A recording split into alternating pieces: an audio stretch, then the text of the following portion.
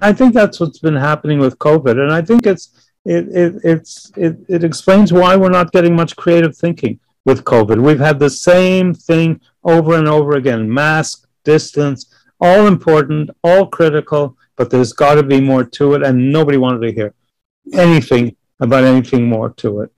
I described a whole bunch of anomalies, you know, why people are getting it in some places and not other places. And later I discovered that the ultraviolet rays of the sun deactivate the virus. So if you're living in a polluted city, the pollution blocks the ultraviolet rays and uh, enables the, the aerosols to live longer.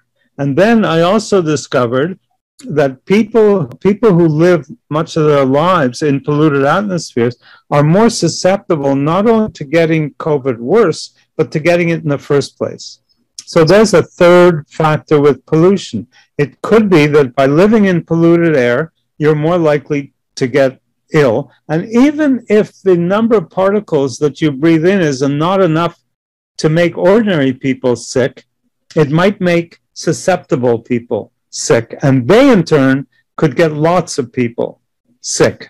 I tried to convey that. I couldn't get it published anywhere. And now an article just came out, just came out last Friday, um, that basically confirms all that by saying that you might even be able to get sick in New York from the smoke that's being generated in California.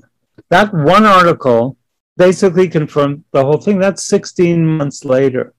Uh, imagine if we had given some attention to that point 16 months ago and looked at the role of pollution in carrying the virus.